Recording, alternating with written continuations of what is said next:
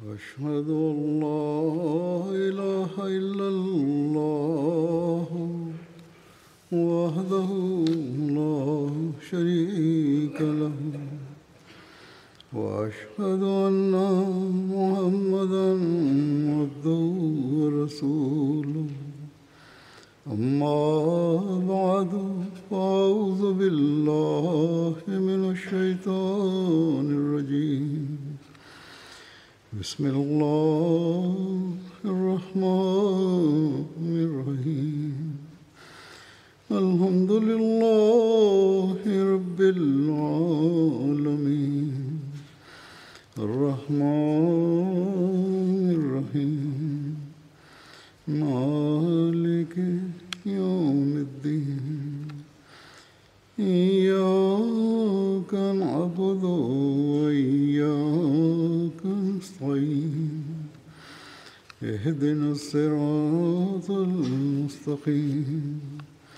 صراط الذين أنعمت عليهم. غير المغضوب عليهم ولا الضالين. After reciting the Tashahud, Ta'awuz and Surah Al Fatiha, Hazrat Khalifatul Masih V, Ayyadahullah Ta'ala Binasrihil Aziz stated, The accounts from the life of the Holy Prophet, peace and blessings of Allah be upon him, are being mentioned with reference to the Battle of Badr. I will present some more details in relation to this. With regards to the kind treatment of the Holy Prophet, peace be upon him, towards the prisoners once the Battle of Badr had concluded, it is written in Tabqat ibn Sa'd that when the prisoners of Badr arrived, the paternal uncle of the Holy Prophet, peace and blessings of Allah be upon him, Hazrat Abbas, was also among them. As such, the Holy Prophet, peace be upon him, did not sleep the entire night. Upon this, one of the companions of the Holy Prophet, peace be upon him, asked, O Messenger of Allah, peace and blessings of Allah be upon him, what has kept you awake? Upon this, the Holy Prophet, peace and blessings of Allah be upon him, replied, The sound of agony from Abbas. Following this, someone went and loosened the shackles of Hazrat Abbas. He was tied up, and he loosened the chain somewhat. Upon this, the Holy Prophet, peace and blessings of Allah be upon him, stated that what has happened, for I can no longer hear the sound of Abbas in agony. And so an individual replied that I slightly loosened his shackles. The Holy Prophet, peace and blessings of Allah be upon him, stated that then you should do the same to all prisoners. It should not be the case that you merely loosen the shackles of one individual due to him being my relative.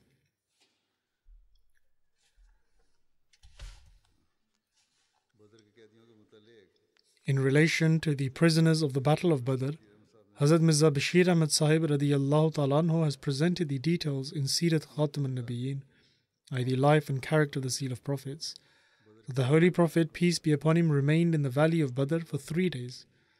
This time was spent to shroud and bury the martyrs and nurse the wounded. Similarly, it was during these days that the spoils were collected and sorted. The prisoners of the disbelievers, which equated to 70, were secured and given into the custody of various Muslims. The Holy Prophet, peace and blessings of Allah be upon him, strictly directed the Muslims to treat the prisoners gently and kindly, and to ensure that their comforts were looked after.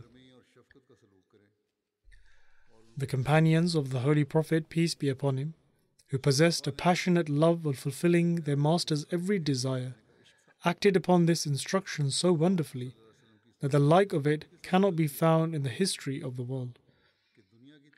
Hence, from among these prisoners, one prisoner named Abu Aziz bin Umar relates that due to the exhortation of the Holy Prophet, peace and blessings of Allah be upon him, the Ansar would give me baked bread, but they themselves would subsist on dates, etc.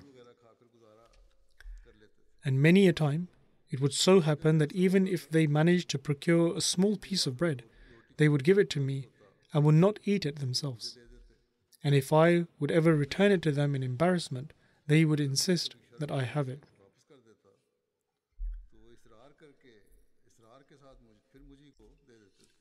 Those prisoners who did not have sufficient clothing were given clothing. As such, Abdullah bin Ubay gave Abbas his shirt.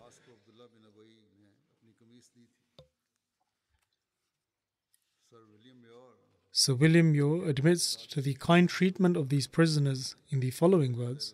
He writes, In pursuance of Muhammad, peace and blessings of Allah be upon him's commands, the citizens of Medina and such of the refugees as already had houses of their own receive the prisoners and treat them with much consideration. Blessings be on the men of Medina, said one of these prisoners in later days that they made us ride while they themselves walked. They gave us wheaten bread to eat when there was little of it, contenting themselves with dates.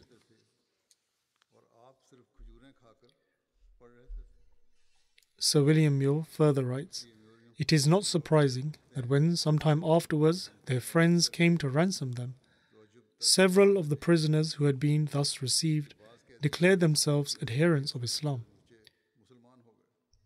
He further writes Their kindly treatment was thus prolonged and left a favorable impression on the minds even of those who did not at once go over to Islam.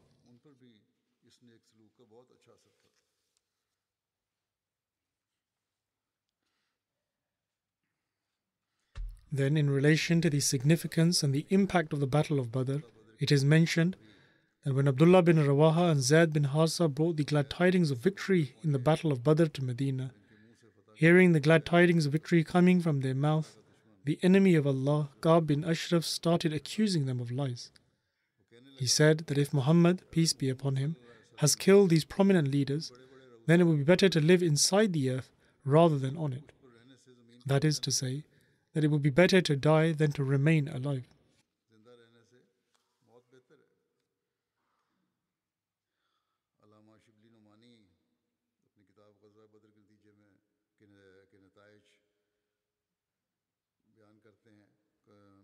While stating the outcome of the Battle of Badr, Allama Shibli Nomani writes in his book that the Battle of Badr had a diverse impact on the religious and social circumstances of the land. This was in fact the first step of the advancement of Islam.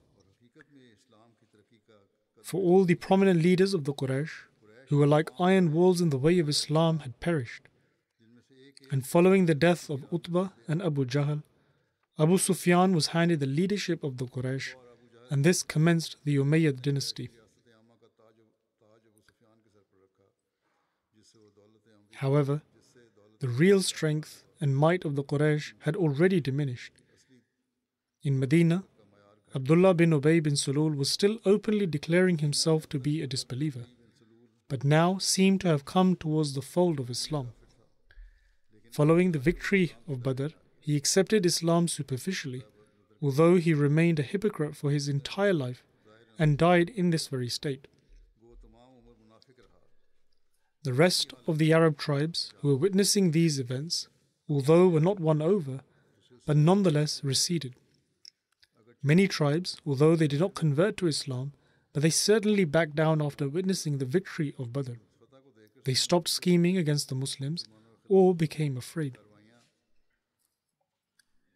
In addition to this change in situation, further new developments emerged amongst the opposition. A pact had already been made with the Jews that they would stand with them, i.e., the Muslims, in all circumstances. However, this victory kindled a fire of jealousy within them, and they were unable to suppress it.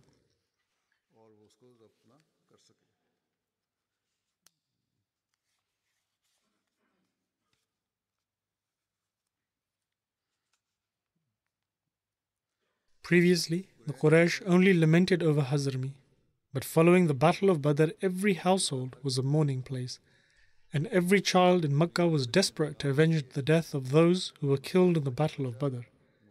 Hence, the incident of Suwayq and the Battle of Uhud were a result of the zeal of theirs.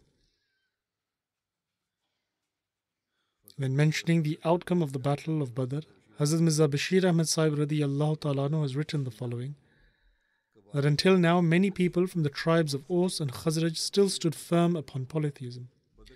The victory of Badr resulted in a movement among these people, and upon witnessing this magnificent and extraordinary victory, many people from among them became convinced of the truth of Islam. Thereafter, the element of idol worship began to diminish very rapidly in Medina. However, there were also some in whose hearts this victory of Islam had sparked a fire of rancor and jealousy. Finding it unwise to oppose openly, apparently they accepted Islam, but from the inside they sought to uproot it and joined the party of the hypocrites. He further writes that the most prominent among the latter class of people was Abdullah bin Ubay bin Sulul, who was a very renowned chieftain of the Khazraj tribe. Due to the arrival of the Holy Prophet, peace and blessings of Allah be upon him to Medina, he had already suffered the shock of having his leadership taken from him. And after Badr, this individual became a Muslim at the outset, but his heart was satiated with malice and enmity towards Islam. He became the leader of hypocrisy and secretly began to hatch a series of conspiracies against Islam and the Holy Prophet, peace and blessings of Allah be upon him. Hazrat Mirza Bashir Ahmad Sahib ta'ala further states that the Battle of Badr had a deep and lasting effect on both the disbelievers and the Muslims. It is for this reason that this battle possesses a distinct significance in the history of Islam to such an extent that the Holy Quran has named this battle Yomul Furqan. In other words, the day upon which a manifest distinction was made between Islam and disbelief. There is no doubt that other wars also took place between the Quraysh and the Muslims afterwards, and some of them were immensely fierce. At times, the Muslims were confronted with delicate situations, but in the Battle of Badr, the spine of the Quraysh had been broken, which no surgical operation could permanently repair thereafter.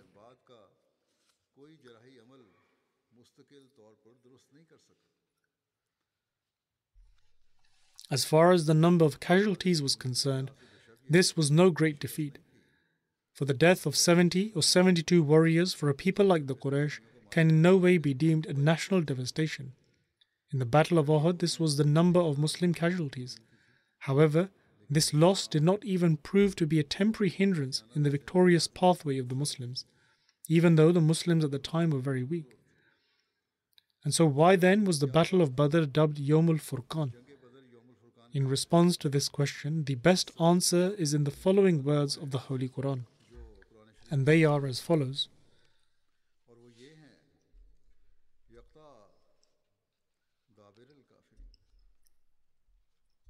That is, verily on that day the root of the disbelievers was cut off. In other words, the blow of the Battle of Badr hit the root of the disbelievers and it was shattered to pieces. If this very blow had struck the branches instead of the root, irrespective of how great a loss it would have inflicted, this loss would have been nothing compared to the one actually incurred. However, this blow to the root turned this lush green tree to a pile of coal in a matter of moments. And only those branches survived which attached themselves to the other tree before drying away. Therefore, in the field of Badr, the loss of the Quraysh was not measured by the number of men who died, rather by the people who died. When we cast a glance upon the casualties of the Quraysh from this perspective, there remains no room for even the slightest doubt or uncertainty that in the Battle of Badr, the root of the Quraysh was truly cut off. Utbah, Shaibah, Umayyah bin Khalf, Abu Jahl, Uqba bin Abi Mu'ayt, and Nadr bin Haris, etc., were the moving spirit of the Quraysh. This spirit flew off from the Quraysh in the valley of Badr forever, and they were left like a lifeless body. It is for this reason that the Battle of Badr had been given the name of Yomul Furqan.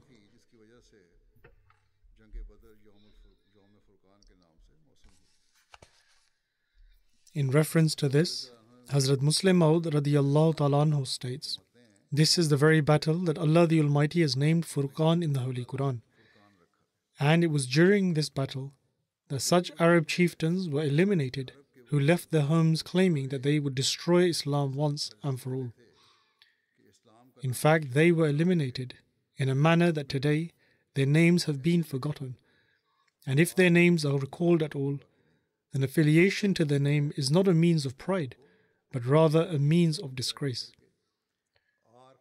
Ultimately, Allah the Almighty granted the Muslims a grand victory through this battle.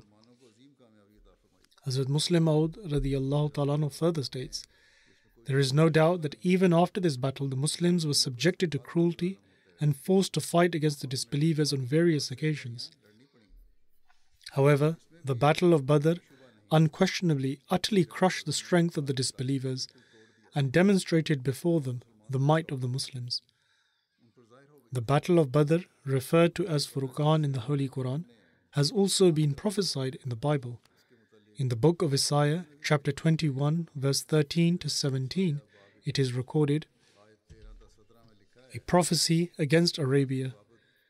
You caravans of Dedanites who camp in the thickets of Arabia, bring water for the thirsty. You who live in Tema, bring food for the fugitives. They flee from the sword, from the drawn sword, from the bent bow, and from the heat of battle. This is what the Lord says to me. Within one year, as a servant bound by contract would count it, all the splendor of Kedar will come to an end. The survivors of the archers, the warriors of Kedar will be few. The Lord, the God of Israel, has spoken.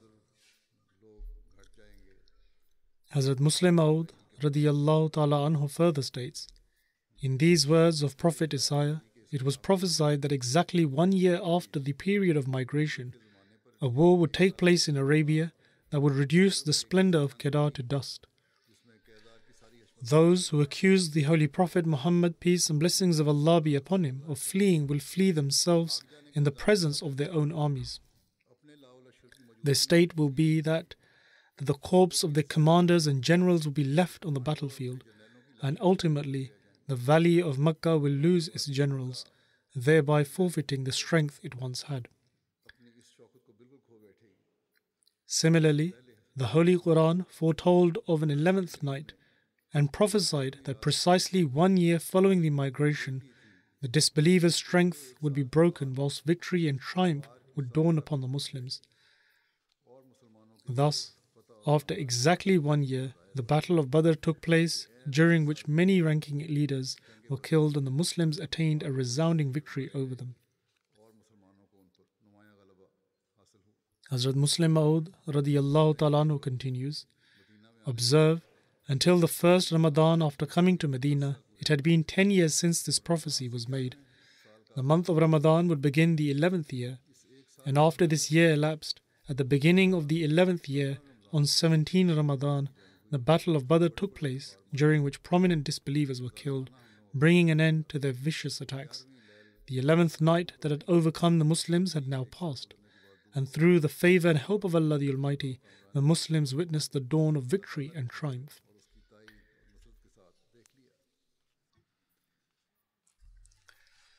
Regarding the excellence of the companions who took part in the Battle of Badr, it is recorded that Hazrat Jibreel came to the Holy Prophet, peace and blessings of Allah be upon him, and said, That amongst the Muslims, what rank do you give to those who took part in the Battle of Badr?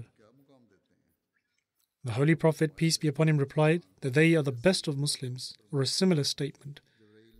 Hazrat Jibreel said that similarly those angels who took part in the Battle of Badr also hold a high rank. The incident that I am about to narrate has already been mentioned in reference to Hazrat Ali radiallahu ta'ala However, I shall mention it again due to its significance in this context.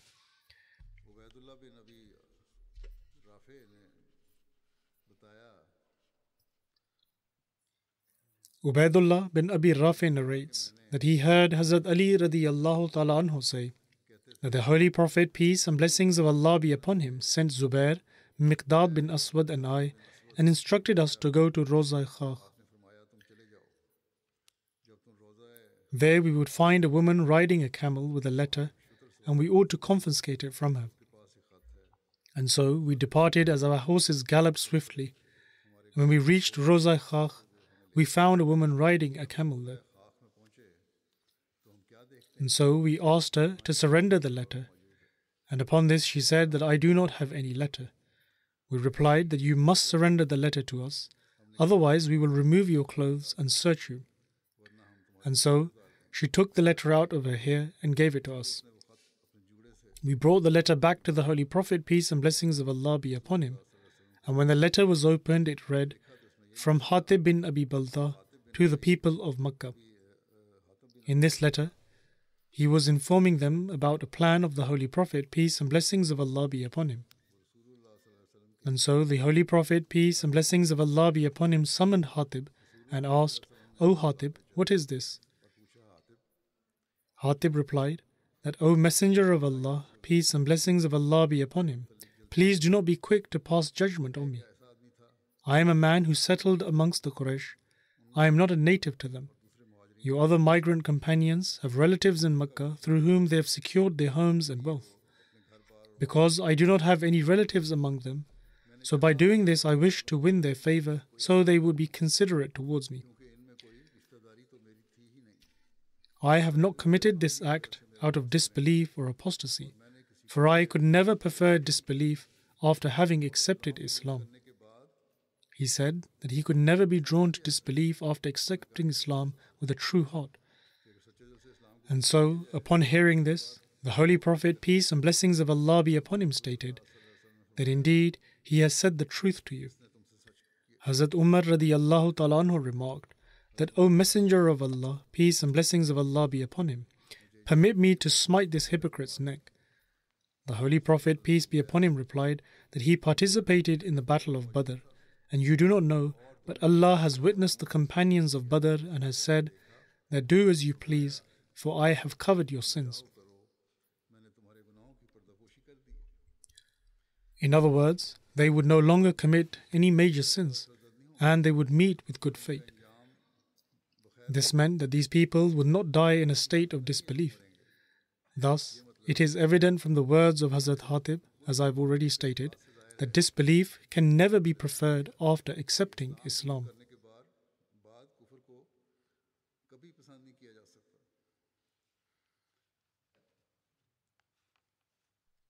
Hazrat Abu Huraira radiallahu ta'ala relates that the Holy Prophet, peace and blessings of Allah be upon him, said, that perhaps Allah the Almighty has looked upon the companions of Badr with mercy and said that do as you please, for I have forgiven you.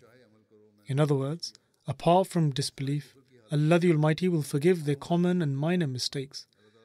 Through these words, Allah the Almighty also assured that they would never devolve into disbelief and that their fate would be auspicious. This is also what is meant by these words. Even if some mistakes or sins are committed, they would be as a result of human weakness, which would be forgiven by Allah the Almighty. Umm al-Mu'mineen, i.e. the mother of the believers, Hazrat Hafsa radiallahu ta'ala anha relates that the Holy Prophet, peace and blessings of Allah be upon him, said that I am hopeful that those who participated in Badr and Hudaybiyah will never, God willing, enter the hellfire. Upon this I submitted, O Messenger of Allah, peace be upon him, has Allah not stated,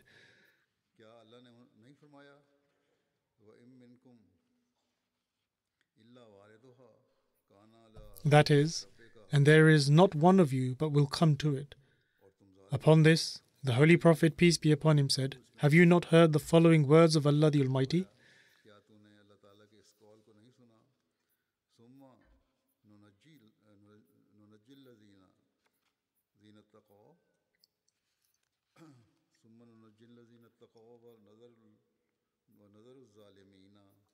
That is, then we shall save the righteous, and we shall leave the wrongdoers therein on their knees.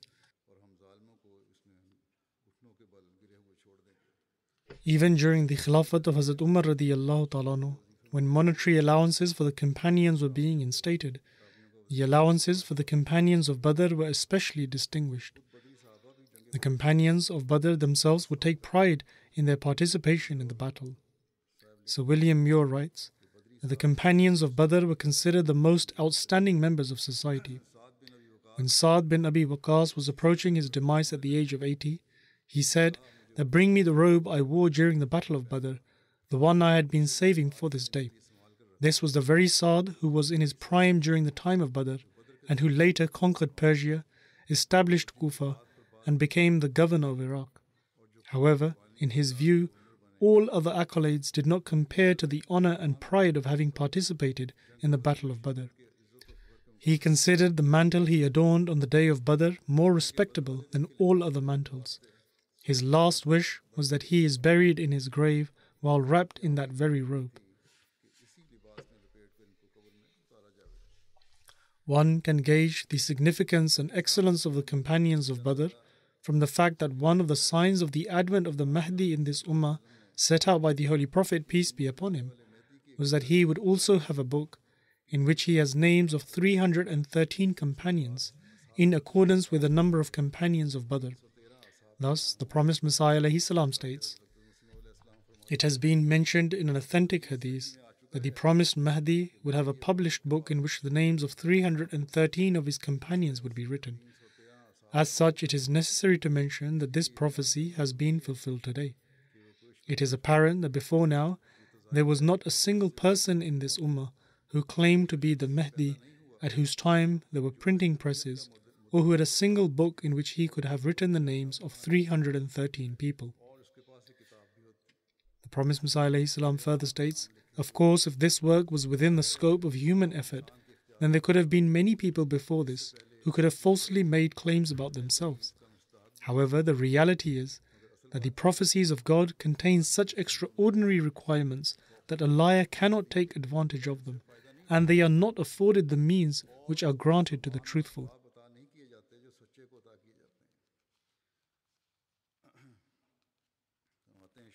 The promised Messiah والسلام, further states in his book Jawahirul Asrar, which was published in 840 Hijri, Sheikh Ali Hamza bin Ali Malik al-Tusi writes the following about the promised Mahdi, the translation of which is The Mahdi will hail from a village called Kada. This, in fact, is the Arabic version of Qadian.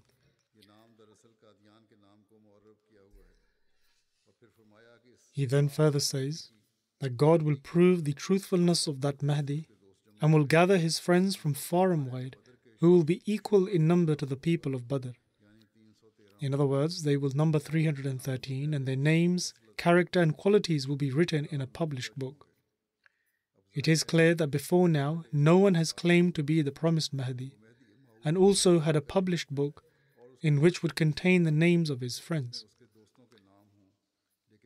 However, I have previously written 313 names in Aina Kamalat Islam, and now to further confirm this, I shall write those 313 names here once again. The promised Messiah والسلام, wrote this in the appendix of the book Anjam-e-Atham. The promised Messiah والسلام, then further states Every fair minded individual should know that this is yet another prophecy that was fulfilled in my favor. In accordance with what has been stated in the narration, it is necessary to state from the outset that all of these companions possess qualities of truthfulness and piety. And as far as their ranks, which Allah the Almighty knows best, some excelled others in love and devotion to Allah and being occupied in service to faith.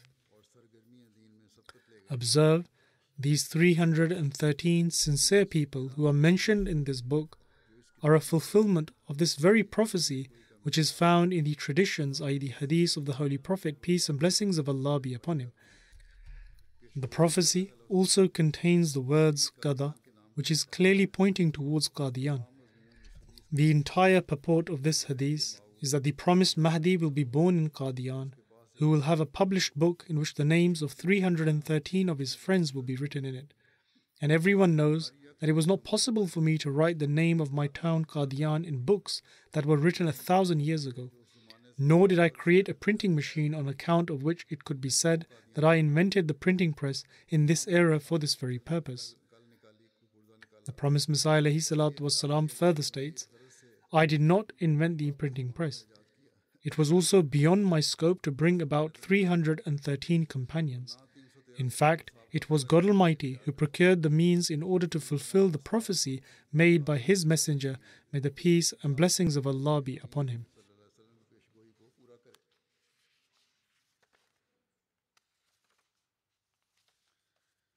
While stating the similarities between the Holy Prophet, peace be upon him, and Prophet Moses salam, in relation to the Battle of Badr, the promised Messiah والسلام, states, Just like the Israelites, God's rightly guided people suffered great difficulties for 13 years in Mecca at the hands of the disbelievers.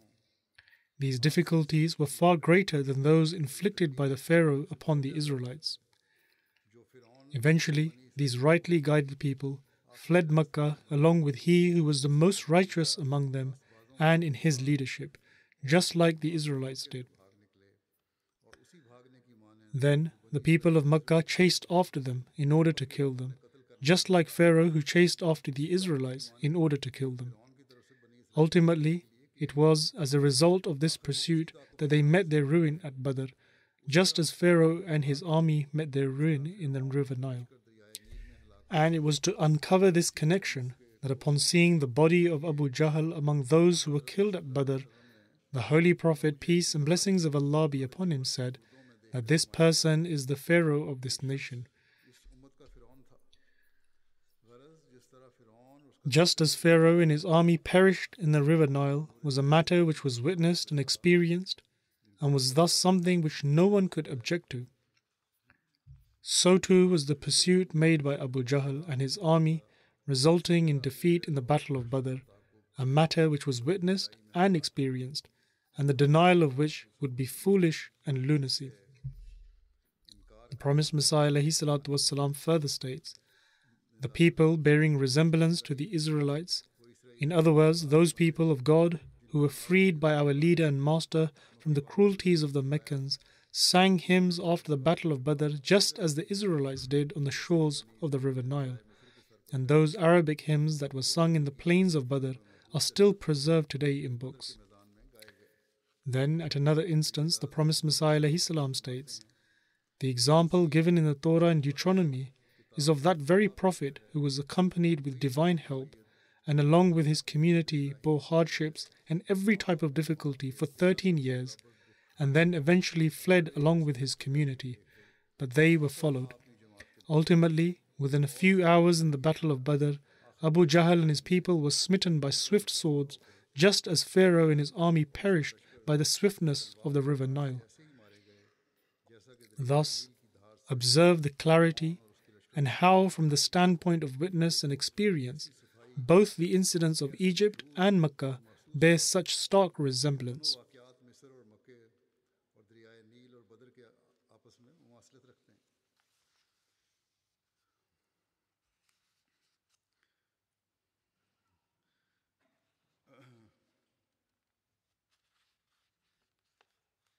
It is stated in the Holy Quran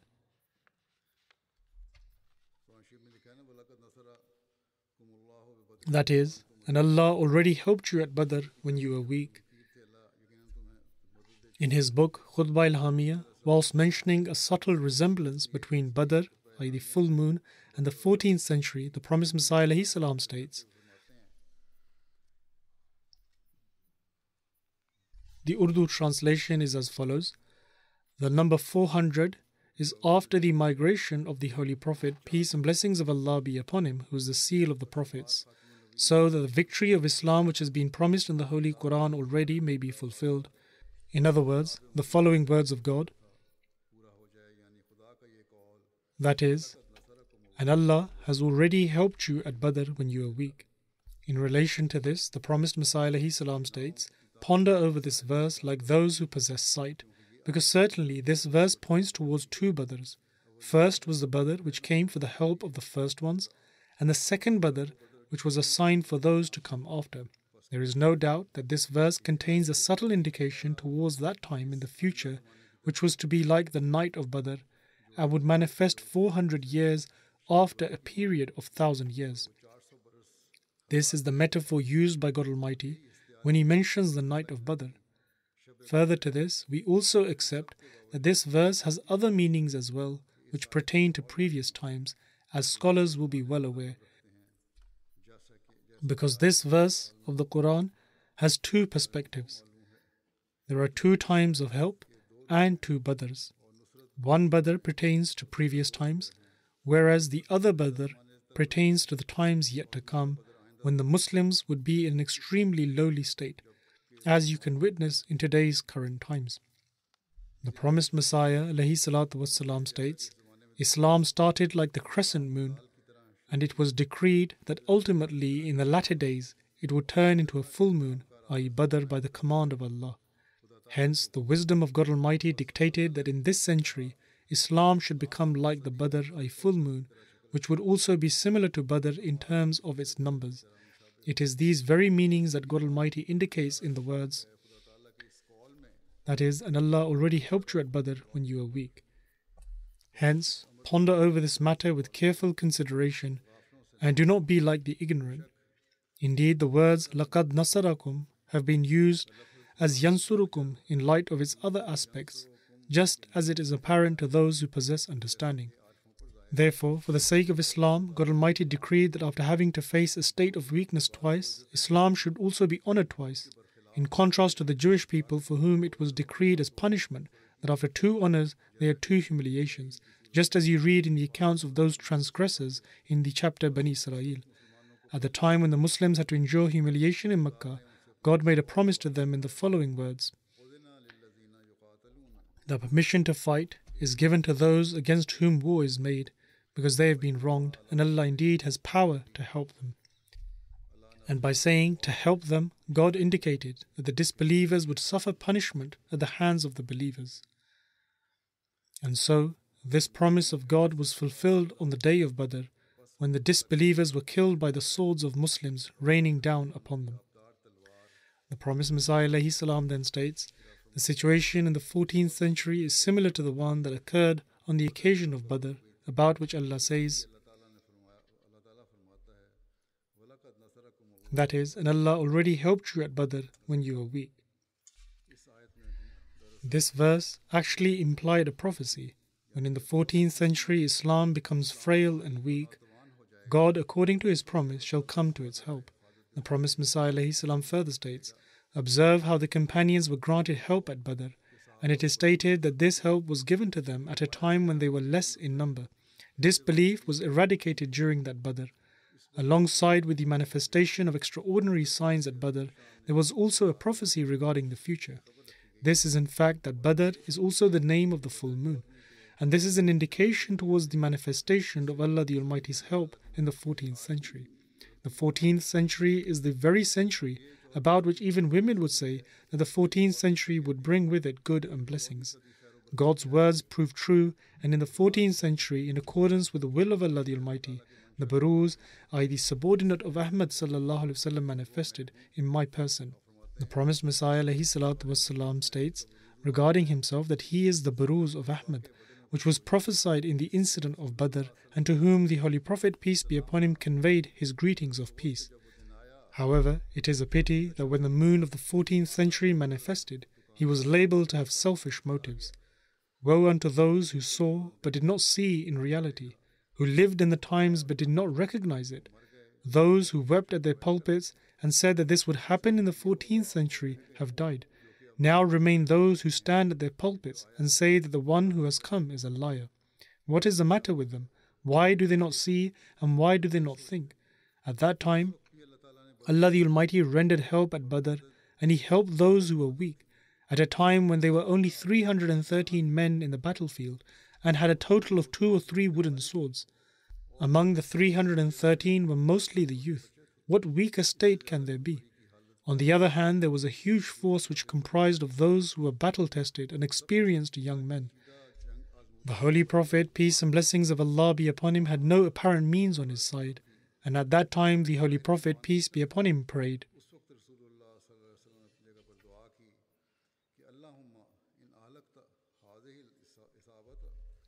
That is, O Allah, if you destroy this party today, then none will remain to worship you. Listen, I say with complete certainty that the situation today is the same as that at Badr, Allah the Almighty is preparing a party in the same way, and the same words of Badr and the words of being in a state of weakness apply. The number 14 has a very deep connection in this respect. The moon of the 14th century is complete, and it is to this very point that Allah the Exalted alludes to in the following. That is, and Allah already helped you at Badr when you were weak. At that time also, the community of the Holy Prophet, peace be upon him, was small, and yet they overcome the enemy. And now there is the Badr of our present age as well.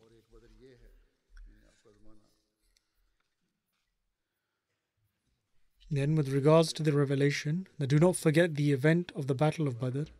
Hazrat Qazi Abdul Rahim Sahib Raziyallahu Ta'ala has written in his diary of 17th February 1904 that last night the promised Messiah والسلام, related a dream in which he heard someone say, Do not forget the event of the Battle of Badr.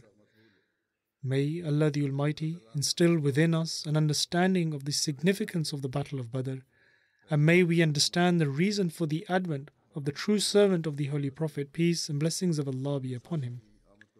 May Allah the Almighty enable the Muslim Ummah to understand the significance of the event of Badr and enable them to recognize the promised Messiah salam, who has appeared in subservience to the Holy Prophet, peace and blessings of Allah be upon him. And through this, they will become worthy of regaining their lost grandeur and glory.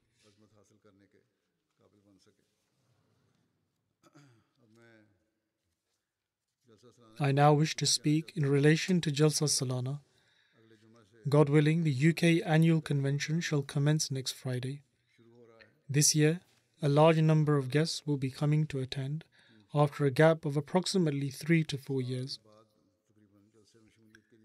In fact, the guests have already started to arrive.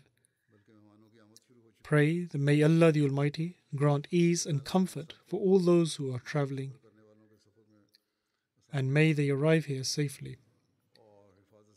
And may they derive true blessings from the purpose of the Jalsa Salana. Likewise, may all the Ahmadis who reside in the UK participate in the Jalsa with the true fervour and spirit, and with the sole objective in mind that they shall strive to attain the spiritual rewards during the days of Jalsa. Similarly, all the workers who have been appointed to various duties during the Jalsa should strive to serve all the participants of the Jalsa as they are the guests of the promised Messiah.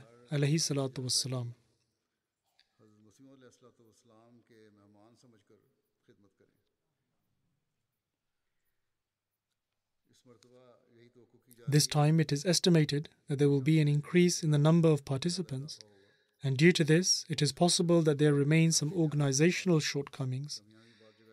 MashaAllah, I am hopeful that the UK Jamaat has become so experienced in its organization that it will have already resolved the majority of the issues, and there will only remain minor shortcomings, if at all.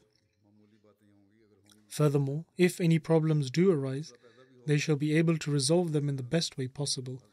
May Allah the Almighty make it so that no such issues arise which cause any inconvenience to the guests.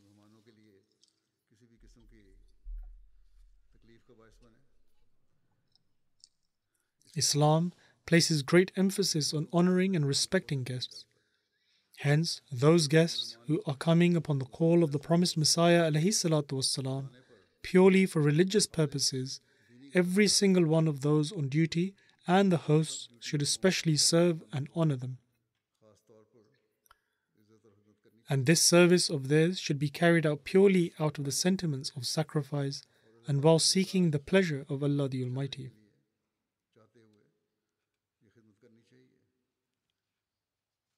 What are the teachings of Islam with regards to hospitality of guests? And what did the Holy Prophet, peace and blessings of Allah be upon him, expect in terms of hospitality of guests. On one occasion, the Holy Prophet, may the peace and blessings of Allah be upon him, stated that whosoever believes in Allah and the Last Day, he should honor their guests. Thus, during the days of Jalsa, people from all different nations come and have varying temperaments. At times, difficulties arise in managing people of different temperaments, owing to their different natures. The guests sometimes say something, or acts in a way which makes it difficult for the person who is on duty or is tasked with looking after that guest.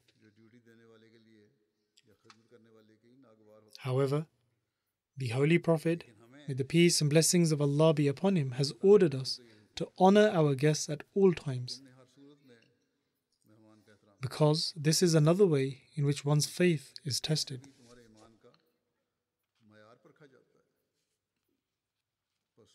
Thus, those on duty should display high morals at all times and always have a smile on their faces.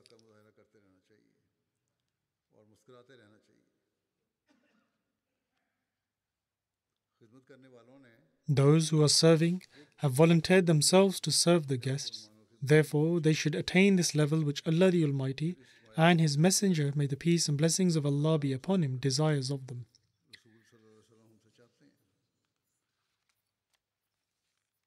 What level of displaying high morals does Islam teach us to attain? In relation to this, the Holy Prophet, may the peace and blessings of Allah be upon him, stated that to smile to your brother is an act of charity. Commanding good and forbidding evil is charity. And giving directions to a person lost or to a blind person is also charity for you. He further stated that removing a rock, a thorn, or a bone from the road is charity for you, in other words, to remove any rubbish. And your pouring what remains from your bucket into the bucket of your brother is also charity for you. Thus, these are the standards that every Ahmadi must attain. As I am drawing the attention of the workers towards this, I therefore say to them in particular that to always remain smiling is a very commendable trait. Sometimes those on duty have little time to sleep and they become tired.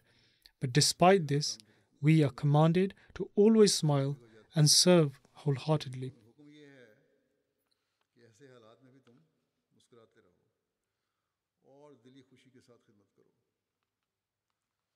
Furthermore, the Tarbiyat department in particular and all those on duty in general ought to be mindful that if they see someone behaving in a way that is against the sanctity of our pious atmosphere and teachings, then they should advise them in a gentle and loving manner.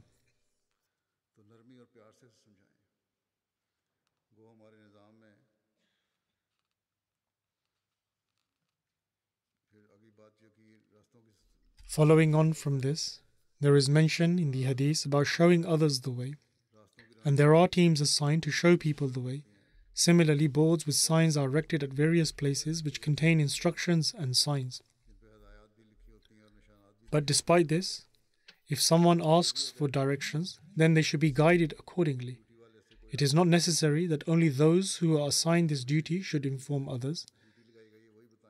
In fact, if a person knows the directions, then good morals dictates that they should show them the way, and if they do not know, then they ought to guide them to the relevant department who would know. And everyone knows that helping those with physical or visual impairment is a fundamental responsibility, and everyone is reminded of this. Therefore, there is no need to elaborate on this further.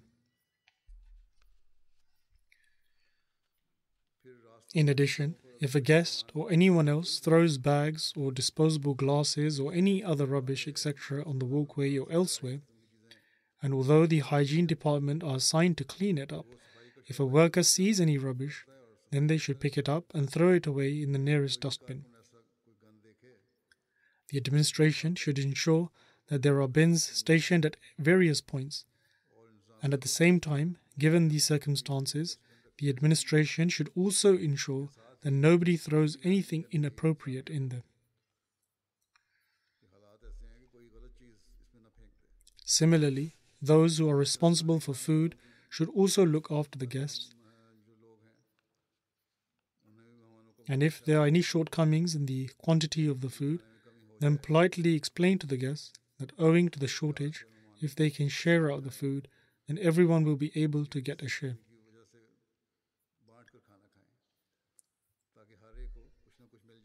Usually, there are very slim chances of this occurring. However, if such a situation does arise, then the teams dealing with serving food should deal with it with love and wisdom. Likewise, there is the department to manage the traffic. and occasionally issues can arise there as well, especially when the weather is bad.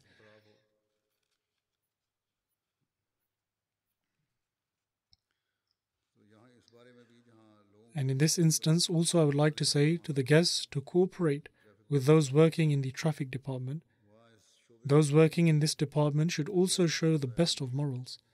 In the same way, there are many other departments in Jalsa Salana. Every one of them ought to act on the guidance of the Holy Prophet, peace and blessings of Allah be upon him, to always remain smiling. May Allah the Almighty enable all the duty workers to serve in the best manner and may the Jalsa be blessed in every way.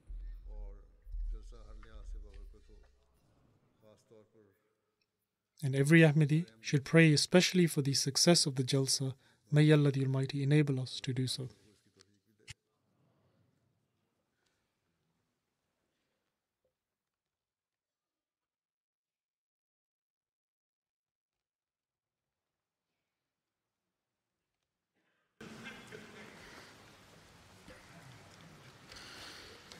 الحمد لله الحمد لله نحمده ونستعينه ونستغفره ونؤمن به ونتوكل عليه. ونعوذ بالله من شرور أنفسنا ومن سيئات أعمالنا. من يهده الله فلا مضل له ومن يضلل فلا هادي له. ونشهد أن لا إله إلا الله ونشهد أن محمدا عبده ورسوله. عباد الله رحمكم الله. إن الله يأمر بالعدل والإحسان وإيتاء ذي القربى وينهى عن الفحشاء والمنكر والبغي يعظكم لعلكم تذكرون اذكروا الله يذكركم وادعوه يستجب لكم ولذكر الله أكبر.